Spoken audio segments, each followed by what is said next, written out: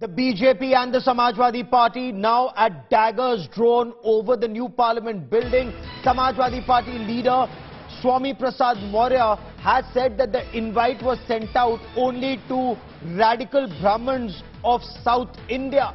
The Samajwadi Party leader called the Tamil Nadu Adhinams a radical Brahmin sect.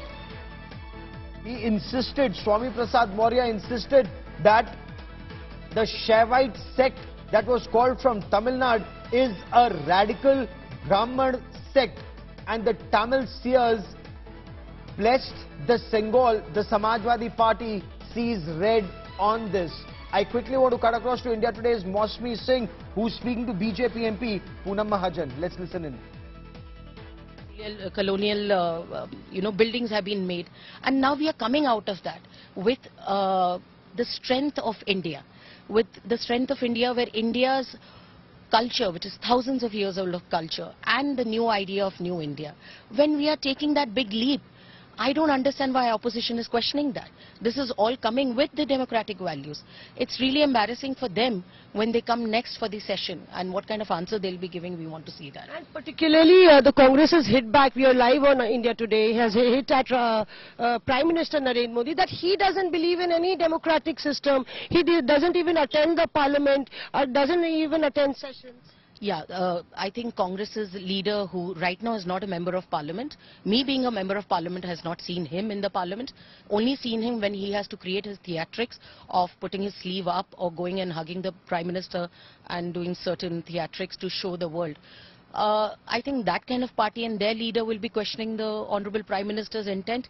it's really, really hilarious and it, it it is disrespect to the country where democratically people have elected the prime minister second time hmm. and disregarded you as a leader and as your private limited party. Your party is li literally a family-based party. So I really don't want to talk about it. Itna acha time. It's such a wonderful day. I'm so blessed to be here. It's a blessing for all of us. They're also calling it PM's vanity project. It's a vanity project full of arrogance and these are bricks of arrogance. bricks of arrogance have been put down. Congress's brick of arrogance. I see the Congress's sheesh mahal has been broken. That's why their dreams have been broken. The strength, the, you know, hard work of everyone who's put in the democratic value there, that has been respected. The Honorable Prime Minister is respected from the first Prime Minister, Honorable Nehru ji, till now. And that is what we have seen right now. That's the strength of the democratic value. And, and I'm proud to be part of this. Sengol is also that strength they're showing. And I'm really, I'm really, I feel bad as a young parliamentarian, this kind of disrespect has been shown. Thank you so Thank much, you so Poonam. Thank you.